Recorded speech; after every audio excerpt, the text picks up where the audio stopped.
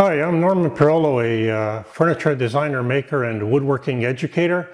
And today I'd like to talk about uh, the mitered corner lap, also known as a mitered half lap joint. And what distinguishes this joint from a conventional miter joint is that the front facing part is a miter joint, but the rear part is a half lap joint. So it's a little confusing when you first uh, view it and try to understand how it's put together. But it's uh, it's a step up from a conventional miter joint, and it's it's a it's a reinforced miter joint is what it is. This is an example I've uh, created quite a number of years ago for educational purposes. It's a smaller one, and these are more recent ones. So I've experimented with developing a process and a sequence on how to how to create this joint using uh, exclusively hand tools. So I've succeeded in, in, uh, in using hand tools, and I've also introduced a high level of accuracy in the joint. So there's relatively no tuning to perform afterwards, aside from a little, a little bit of cleaning up with a with the chisel. Uh, the uh, the accuracy attained is similar to a conventional table saw joint, for example, or a bandsaw joint. And this is an example here. This is the miter and this is the half lap component. This is another example. And these are uh, examples that are not glued together. So this is what the joint consists of, two components. It's a little confusing when you first view it, but after a while it all makes sense. So it's just essentially a half lap joint with two mitered components. And this is a more uh, recent with a, with a hardwood. So I've actually had to label them. And, uh, and this is, uh, again, some more examples, and this is the most, very most recent one that I've that I'm going to be completing in this uh, in this upcoming video. The gear I use, or the, the, the tools I use to create this using uh, using hand tools exclusively, are the uh, a miter jack. You don't necessarily have to use a miter jack, but I use a miter jack to uh, create the, the uh, similar reference surfaces, and I'll, I'll describe that, elaborate further on that in the actual the upcoming video on how to create this, the step-by-step -step detailed video on how to create the, uh, the miter half lap joint. Along with that, I, I use these, these shop-made uh, miter jack saws. This is a, uh, a rip configuration on one side. I'm left-handed, so it's oriented for left-handed use. It could be switched, and this is set up for crosscut uh, orientation. Again, left-handed. So these work in conjunction with with the uh, with the miter jack that's actually attached to either a face vise or an end vise. In this case, in the example, and the next upcoming video is the uh, face vise. I also use a uh, I use a Japanese Ryoba saw to lengthen the cuts. I'll elaborate further on that in the actual video. I'll describe it further and how I use it. So I've actually uh, quite quite impressed with this uh, with this type of it's a pull saw because of its thin kerf and this allows me to attain a great degree of accuracy in the joint without any uh, tuning with uh, either a shoulder plane or a rabbet plane afterwards. And I also use this uh, Japanese square. It has both a 45 and a 90 degree edge, so it's uh, quite versatile. And again, the chisel. And aside from that, very little. And then uh, I'll just show you how, how you can attain a high degree of accuracy using strictly hand tools and maybe improvise your own sequence. And uh, it's, a, it's, a, it's, a, moderately complex joint as opposed to uh, a conventional simple miter joint or a half lap joint. So it introduces both, uh, both elements of a, a miter joint and the half lap component. So I'll just get on with the, uh, with the actual creation of it. So stay tuned.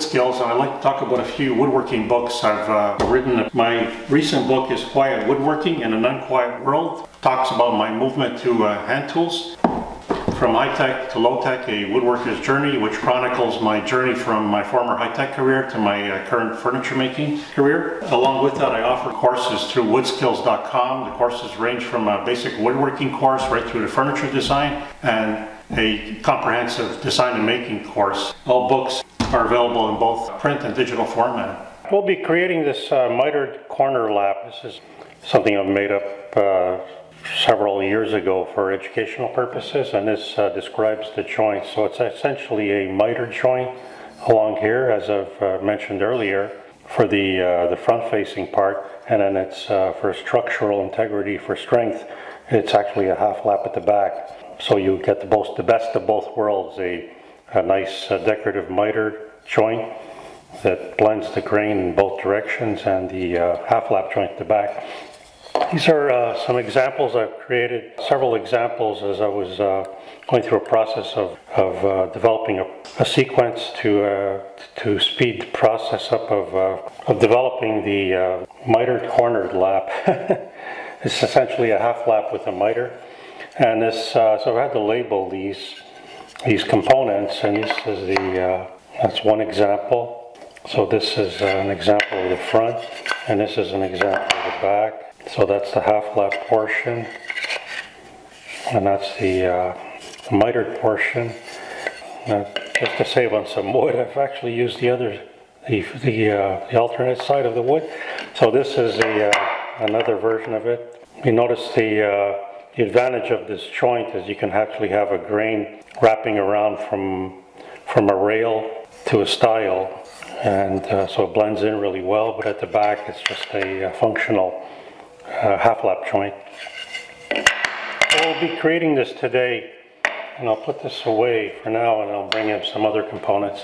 So these are uh, a couple of uh, smaller one by three pieces, or three quarter inch thick. I've cut them all to length and I'll be uh, establishing the uh, laying out the marks for the uh, for the half lap and for the miter. Sorry, I transfer the uh, the width of the board from one component to the other, just keeping the ends flush and then using a knife to mark out the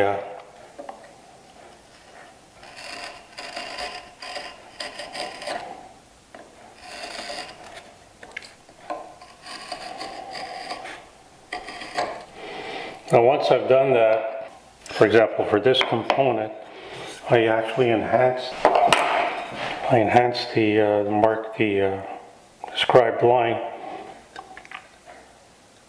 Enhance the scribed line.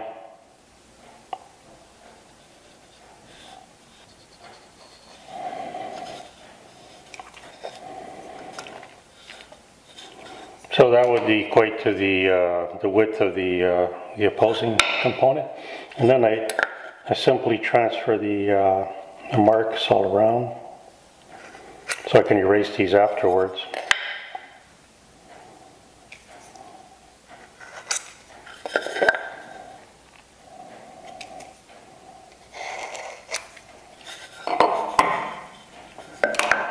And then Uh, I perform the same step here.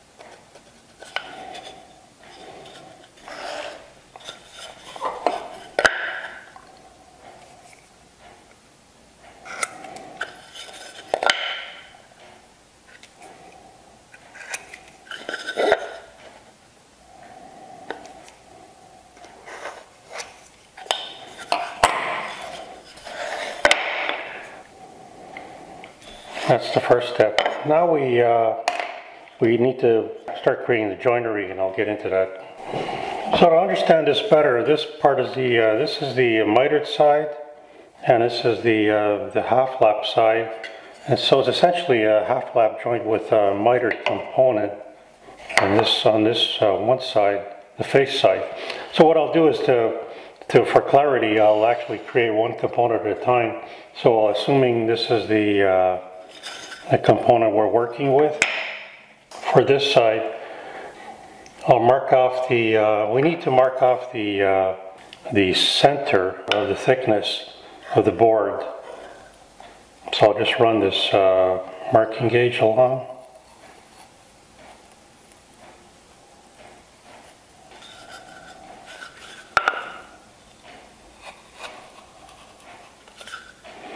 So this is the component, this is the, uh, I'm trying to replicate this, this first component. So I only need to mark off the uh, one edge and the top.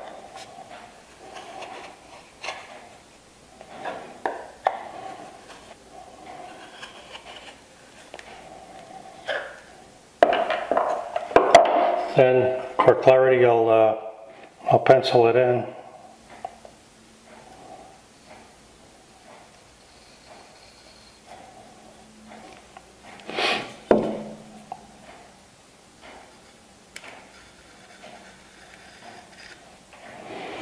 So that's the absolute center. So this delineates the, uh, the half lap components. And the next step would be to, for using this as a basis, is to mark off the 45 degree component. So this is a uh, sort of a, a, Japanese square I like to use because it has both 90 degree and 45 degree uh, sides. So uh, what I like to do often is uh, mark off the waste side so that I don't make a mistake. So I'll mark that off. This is the, uh, the side we're going to be removing and only the, the half, half the thickness. So I'll mark this off too. And mark this off. When you, when you get into a complex joinery or this is on this is borderline complex joinery. You really need to mark these things off even if you've done it multiple times to avoid making a mistake it's easy to conf get confused. So that's that. So I've marked that off and now we can work on the second component. So I'll put that aside. And the second component is this component. So this is a little different. This is actually, uh, we remove the full half lap and then miter the, uh, the remainder. And so I'll use this piece for this. And uh, again, because, because we're working, we're removing the full portion of the half lap, I can delineate or mark off the complete, complete both edges and the top board.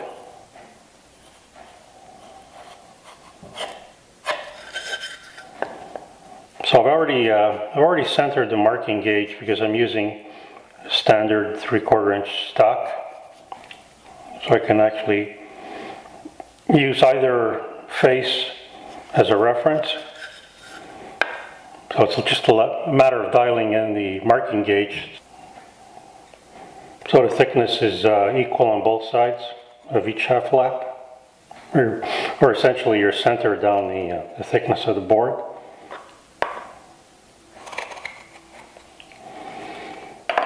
I'll just, uh, I'll do the same thing now. I'll just enhance the, uh,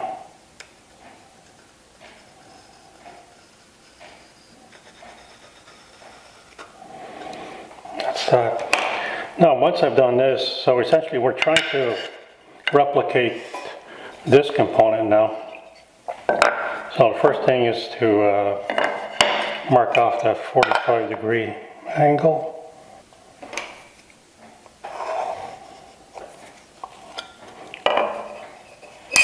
And this is the part that needs to be removed. So this is the part that's removed on this face, but the opposing face is the complete half lap. So I'll just mark it all off just to, just for clarity.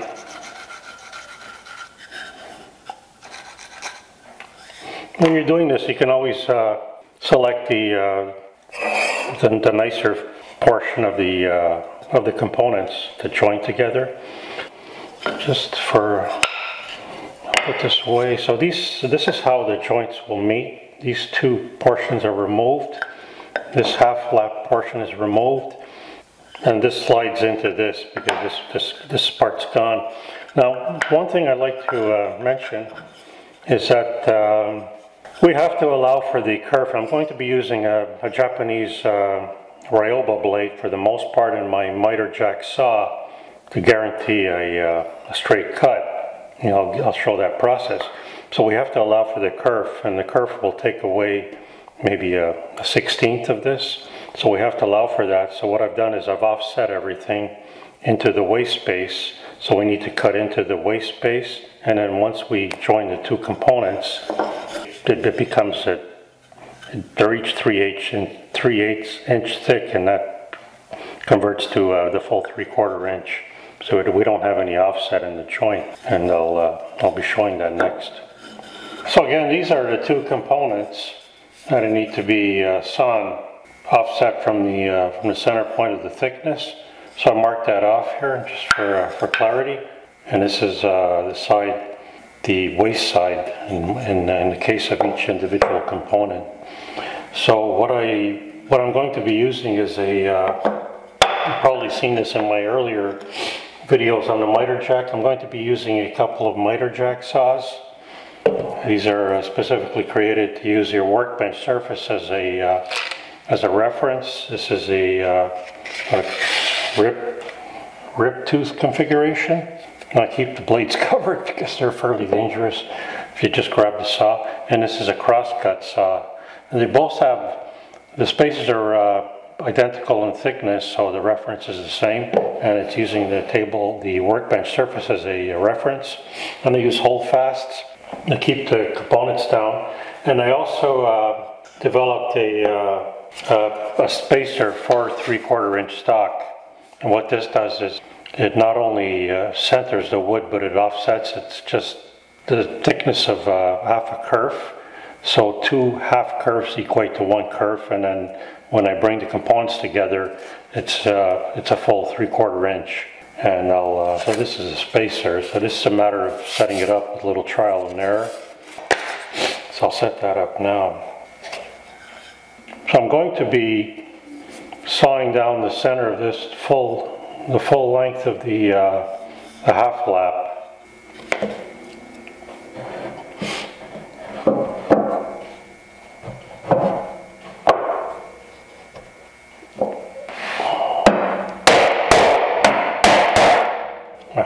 Hammer, it works. It's got the mass. So, um, so I, I, begin with the, uh, actually begin, it's a rip cut, but I begin with a cross cut blade just to uh, delineate or to, uh, to establish the cut. And then I move to a, uh, a full rip blade on the other uh, miter jack saw to continue with it. I only go down partially or as far as I can go and then use a Ryoba later, another Japanese saw to, uh, to extend the cut to its full length. And I'll, I'll, demonstrate that. I just want to make sure everything's in view here. So I'll move this over, move the guard, and start cutting. Like, just confirm that it's just below the, uh, the kerf, the, uh, the center line that I've established.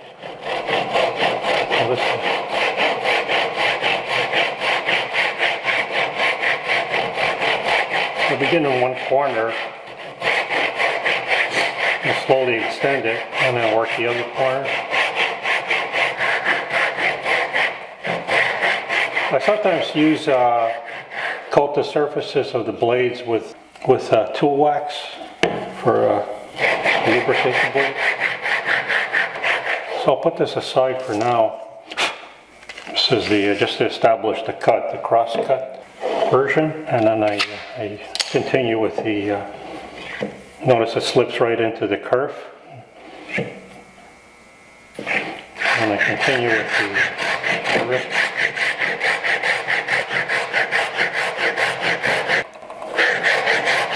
Well, if you notice, I'm left-handed, so my uh, both of these miter jack saws are oriented for left-hand use, but it's very easy to convert it to right-hand.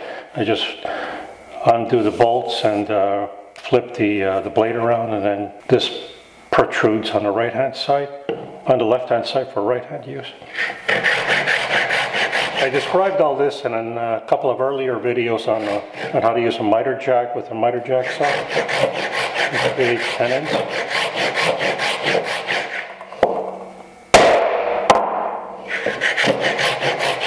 premise is to go as far down as possible with this saw because this creates a reference and it creates an absolute straight cut, a rip cut down the uh, the offset portion of the uh, the center of the uh, the half lap, and then continue with the Ryoba. So I think that's as far as I can go. So I'll put this aside.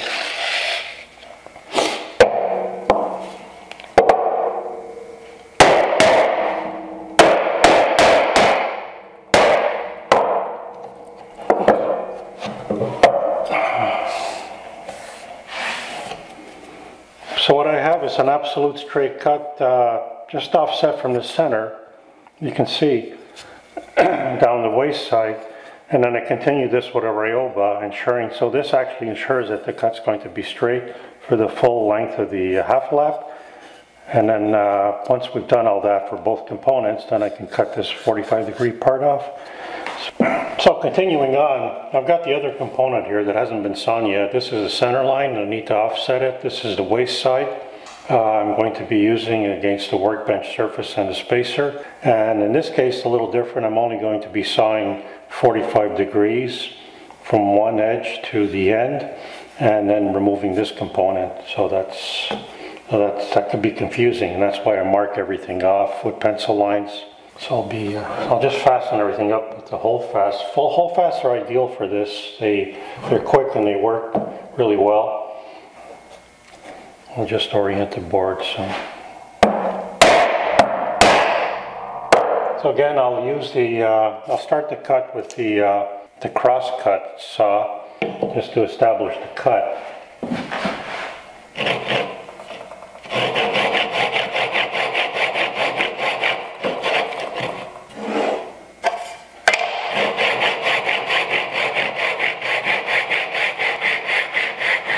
I don't need to go very deep, I just go as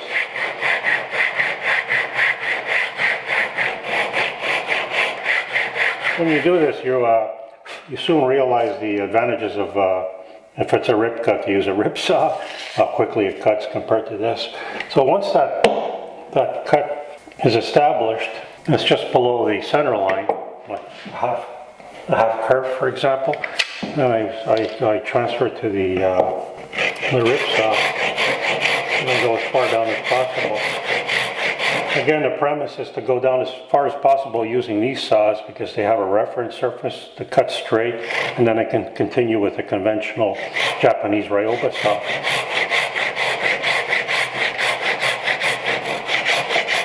You want to understand more about these, uh, these two saws, both in a crosscut and rip configuration and how to orient them for left or right, right hand use and how to pivot them. Uh, they can be pivoted for, uh, for either side. So if you only have the one saw, you can use both sides, the crosscut and the rip side. Reference my earlier videos on a miter jack maybe a few weeks ago and uh, I described them and break them down.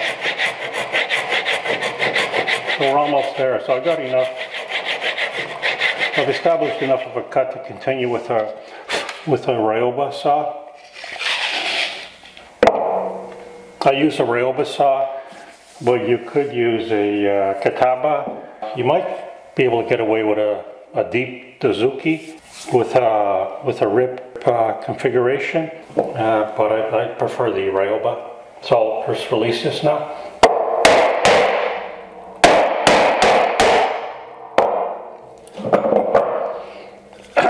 That's the cut. Notice how straight it is, and it's just below the uh, center line. So that, uh, so I'll just continue this, and I'll bring it over to another vise so I can do that.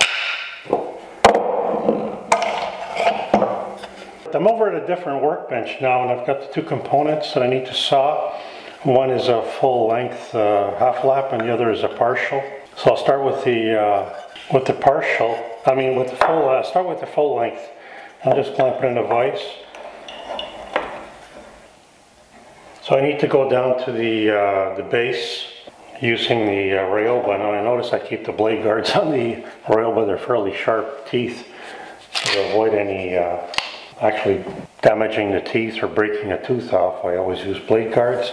So I'm using the, uh, the rip side of the uh, Ryoba and I'll just uh, transfer that, that that uh, cut that I've just established using the miter jack saw down. And that's another reason I mark everything off so I know exactly, uh, I'll continue this down.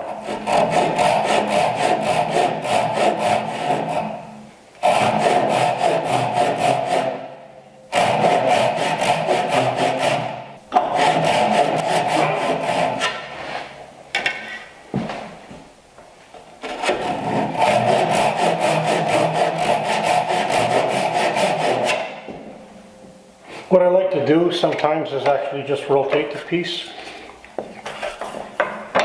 Actually, I do this fairly often. I rotate the piece just to ensure that my cut's straight.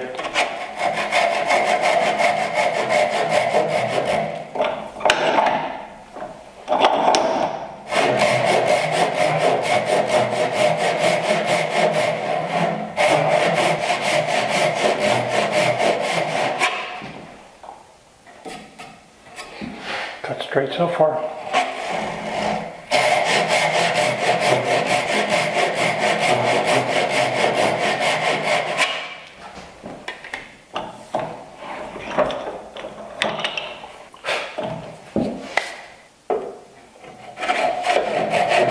I slow down when I'm approaching the, the base of the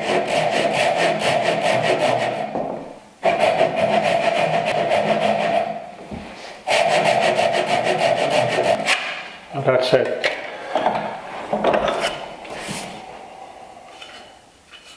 That's a straight cut. So I need to remove, uh, on this component, I need to remove this portion and then also this uh, 45 degree portion. So there isn't much left of this component. So next, I'll perform the same operation on, uh, on this guy. Now this is, uh, it's a smaller cut, it's only a 45 degree cut.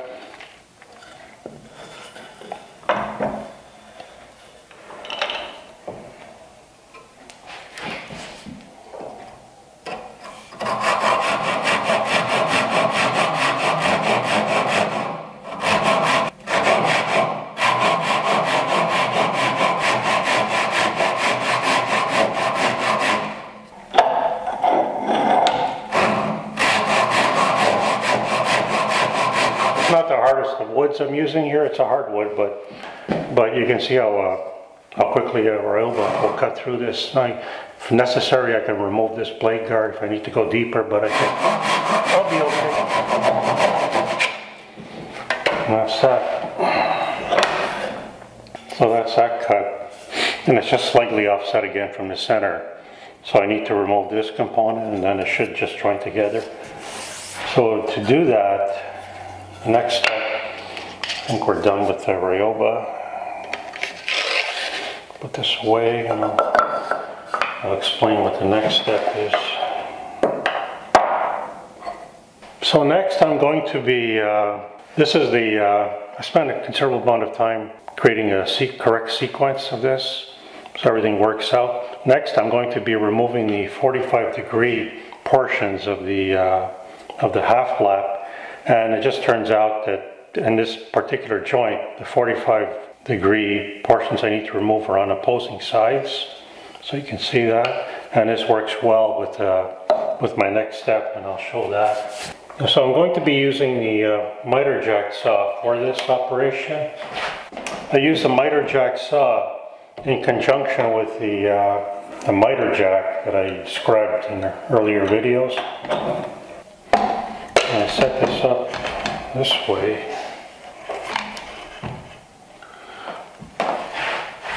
And when I lock it in, I have a uh, dedicated spacer for this. So it eliminates any racking because it's such a large, this is the actual keel that actually clamps into the uh, either face or an end vise. And you'll see, you'll, you'll see why I use this for the next step in the sequence. And this is to, uh, to ensure that both 45 degrees are in the same plane. So when they join together, it's uh, almost foolproof. And I also use a, uh, so I reference the top surface, I keep that flat. I use a uh, spacer that equates to the, uh, the depth or the spacer on the, uh, on the miter jack saw. And I should bring the saws over actually. Now in this case, I'm only going to be using uh, one saw with the crosscut teeth out or crosscut configuration. But again, you could easily use the same saw for both if you need. So I'll set that up. I lock this in here. Now this uh, miter jack excels at this operation. So I set it, I'll be setting it up with a spacer block. It equates to the spacer block on the, uh, on the miter jack saw. And I set this up to uh, 45 degrees, keeping the tops flat. So I'll just do a preliminary tightening here.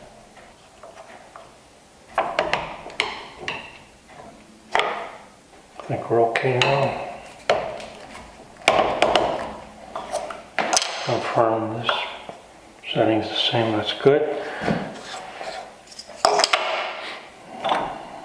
So this, again, this spacer is exactly the same thickness as the spacer here.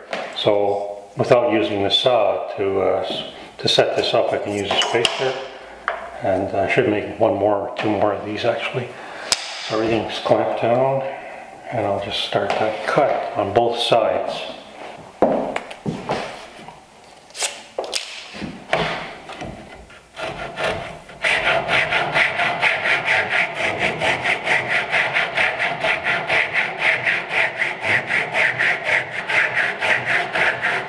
So you notice, uh, again, this creates a reference. Using the, uh, the jaws at 45 degrees of the, uh, of the miter jack as a reference.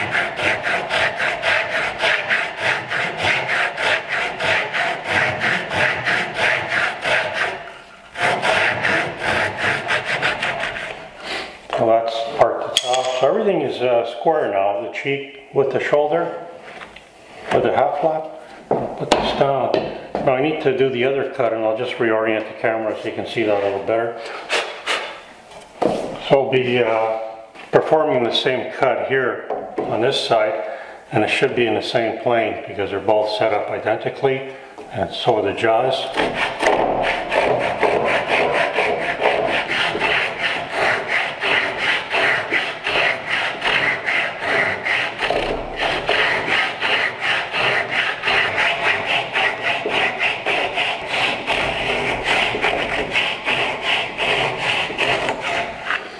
That's, that's that component. So I've established both 45 degrees cuts using the miter jack and miter jack saw combination. So basically essentially done with the miter jack for now and then I just need to establish a, uh, a 90 degree cut on one lap and that joint should go together. Oh, this is, uh, this is where we are so far. So I just need to remove this portion and this should fit right in. Everything's a 45. So I'll cut this using, uh, using the vise. Don't need to use this anymore, although I can set this up for a 90 degree face. It's just too much trouble, so I'll just remove this and put this aside. I have this little spacer block here to support one end of it. I'll just move this over here. So I can remove this spacer block too. So uh, where we're at now is uh, this component's complete. This is one component. All the cuts are made. I mean, just one cut actually. And this is uh, this is this involves two cuts. This portion, so I need to remove this part of the uh, half lap, and this cut's already been established. So I'll be using the uh, the miter jack saw in a crosscut configuration orientation, I should say. So using this device.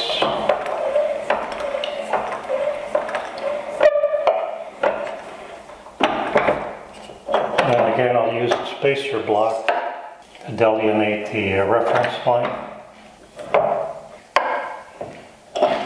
Something else I'll do is I need to ensure, I need to ensure this component is exactly 90 degrees, so, so it's not to the workbench surface.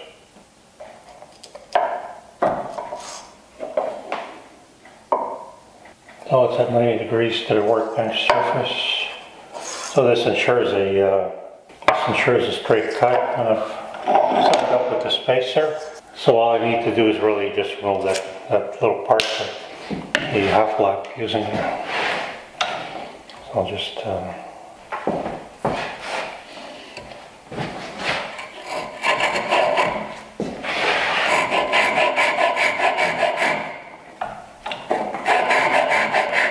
Well, this ensures a, uh, a square shoulder with the cheek of the half.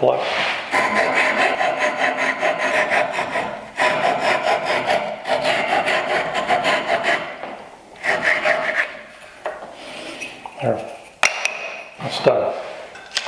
Put the guard on. I just like to get into this habit of uh, putting the guard back on right away. So that cut's done. And this cut's done. No, the only thing really left to do now is just to clean the, uh, the inside corner using a chisel. Just make sure there are no protrusions and it's uh, very straightforward same with this.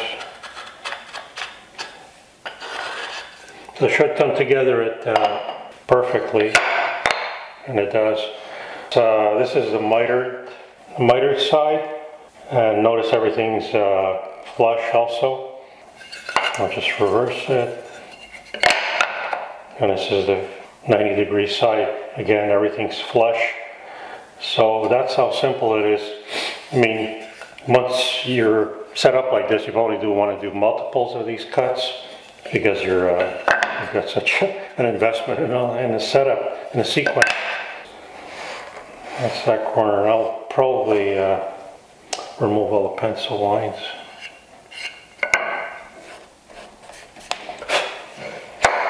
Now that's, that's a 45 degree final uh, scraping to do once you've assembled the joint.